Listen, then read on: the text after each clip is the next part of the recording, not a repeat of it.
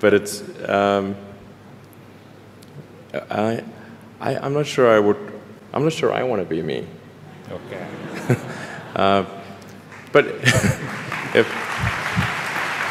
uh, you know, I, I think uh, advice. I mean, if you want to make progress in things, I think that um, the, the, the the best analytical framework for understanding the future is physics.